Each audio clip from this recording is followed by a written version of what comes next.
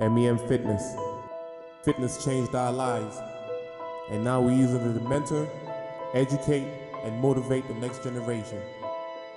How can you see into my eyes like open doors?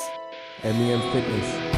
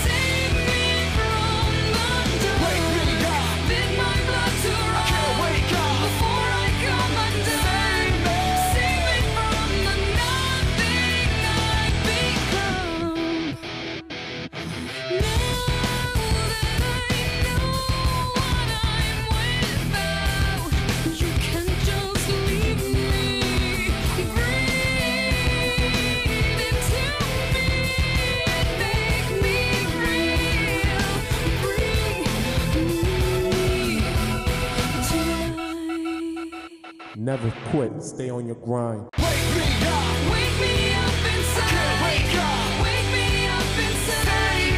Call my name and save me from the wake me up, Bid my blood to can't wake up. before I come undone. Save me from the nothing I've become. Like us and follow us on Facebook, Instagram, and Twitter.